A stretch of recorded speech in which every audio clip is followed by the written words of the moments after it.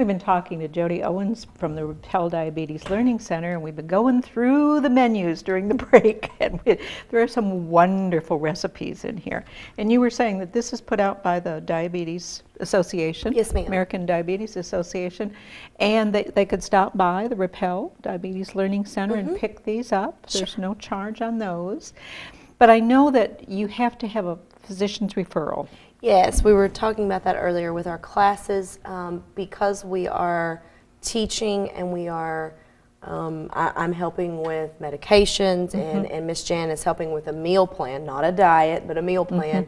Um, we do work and collaborate with our, our physicians and our nurse practitioners because it's a team effort, and Sure. and it's it takes a village to raise a child, and, and it does. It takes a whole team of folks to make sure that each person with diabetes gets what's gets what they need, um, not only from from the diet standpoint or the foods, but also you know when when they're doing their testing and, and helping them understand why we're asking them to test their blood sugar and why we're asking them if they have to take insulin or, or injections.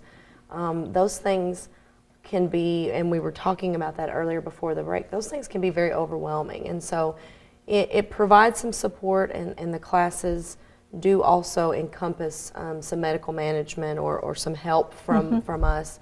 So we, we want to include and, and we, we want to make sure that the physician is staying, you know, right in the same loop that we are as we're providing this education. It's 10 hours of education. So Wow. this goes on. Um, typically, most folks come for a couple of hours each week for about five weeks.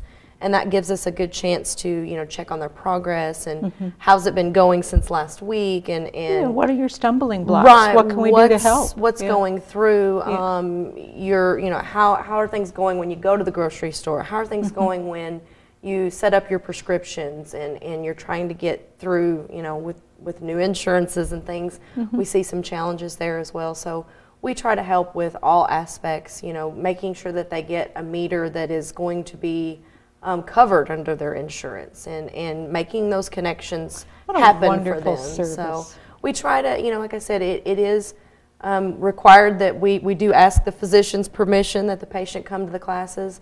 Um, and, and that's very easy. You can either call your physician's office and ask them for a referral, Mm-hmm. or we can send it over for the patient actually and request that physician's offices don't mind that we do that.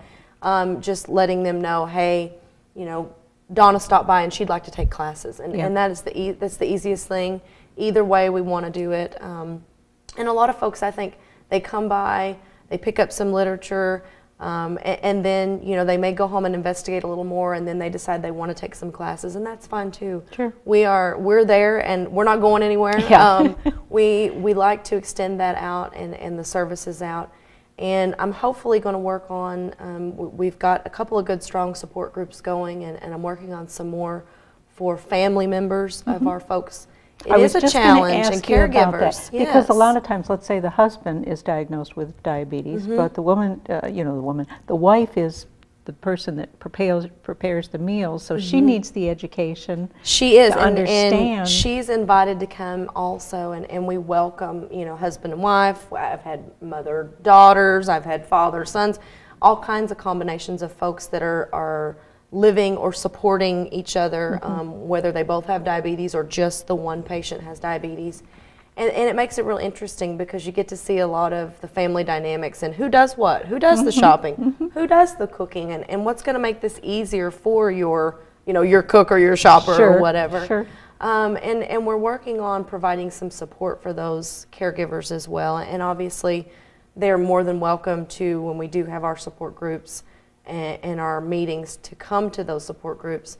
Um, but we actually, when we call the patients to set them up for their classes, we advise them to bring someone. Please Mm-hmm. bring your support person, whether that be your spouse or your neighbor or, or whomever um, is there going to be there for you. Right.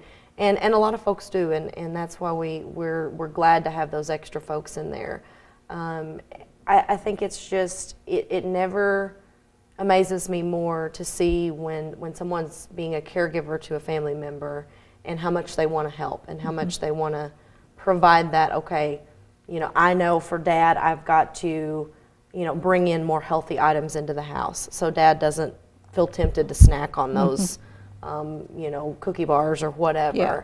And and that is that, especially for folks that, like we were talking earlier, rely on other people to do their shopping and their cooking. Mm-hmm. It's important to incorporate them into that team. And I know one of the things that Miss Jan does is absolutely make sure you understand how to read a label. yes. She's Yes. awesome at that. Yes. Yeah, I've gotten so it takes me forever to shop, but it's getting a little faster. But yeah, Sure.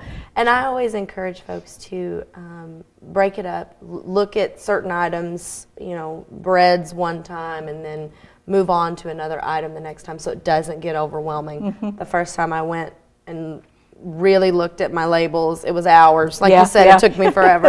and and it is. Um, and I still read labels. And you Mm-hmm. know, I've been doing this for four years now and, and teaching diabetes every day living and breathing next to Jan in the Mm-hmm. office and, and hearing about nutrition. And I still pick up things at the grocery store and compare. Okay, what's, you know, I'm looking at price, I'm looking at carbohydrates, I'm looking at fats, and I'm Sure. looking at all those items because, you know, again, it, it is so important, even if you don't have diabetes, to have that healthy balance, to have that mm-hmm. healthy mix of foods. And that's something that I think a lot of folks take for granted. I always thought that I was eating healthy. Mm-hmm. And come to find out, there were some areas that I actually wasn't getting enough of a certain item of food. You know, I was lacking on my proteins or I was lacking on this. So it, it really is, is kind of fun when you start telling people, oh, no, no, no, you- you're not getting enough to eat. Here, here's what else you can have. Especially when they think, oh gosh, they're going to they're gonna Yeah. put me on, you know, Yeah. bread and water for the next month. Yeah. So it is. It's really a fun thing, and, and I call them light bulb moments when I see, as I'm teaching the class or I'm standing up there talking to people, and things start clicking and the Mm-hmm. ahas start happening.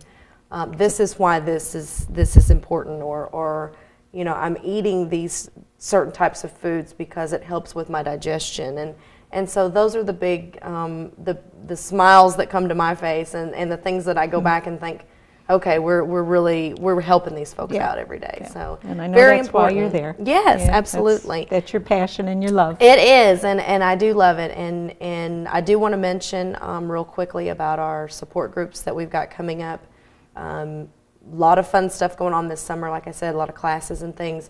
But our main support group that we always have is the fourth Tuesday of each month. Okay. This month is June 24th, and we're going to have Dr. Um, Tilly. He's an anesthesiologist and certified in uh, pain management. Um, and a lot of times with diabetes comes some issues and some problems, and neuropathy is one of those things, and that's the, the pain in the feet and the legs. So Dr. Tilly's going to come over and talk with us about diabetic neuropathy and management, recognizing the signs and mm-hmm. symptoms and treatment of that. And I think that's going to be a biggie because a lot of folks have questions. And, you know, I said, hey, there's only so much this nurse can do and, and explain. I really want to get the expert in there. Yeah. So And he's an awesome speaker. we're really Yeah, excited, Dr. really excited about Dr. having him. Ronald Tilley. He's a wonderful human being. That uh, he's another very impassioned person. So, Good. yes. Good. We're much so, excited. Yeah. And I know the group, our regular group that, that usually comes, they requested we have a, a topic about neuropathy.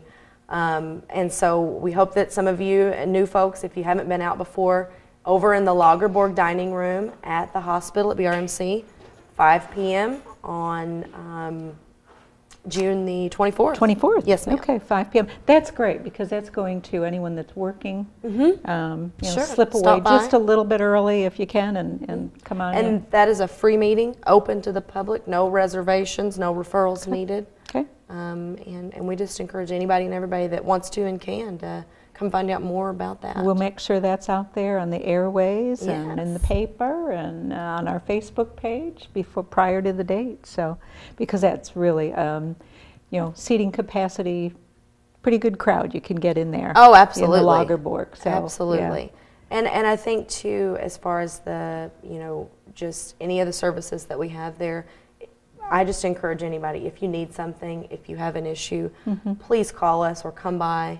Let us know how we can help. We are And more than happy. How can they reach you? I am, uh, phone number wise, 508 1765 there at the Rappell House. And we are located right across the street from the emergency room entrance at the hospital in the row of community support houses. Wonderful. Jodi, thank you so much. Thanks, As always. Donna. Couple before we, we go, you missed we missed one. We've got a scrubber That is And a peeler. vegetable peeler and scrubber, and we even have some exercise DVDs for Oh, anybody my. that Oh, is getting started back on being active again. So, Great, great. Lots of good resources. Yeah, that's where all the balance, it's not just the eating, it's the balance of Mm-hmm. Moving the body. Moving the body. You bet. It's all tied in together. So come back and see us real soon, will I you? will, thank you. All right. Thanks for joining us today, and thank you for joining us today for BRMC's Healthy Connections.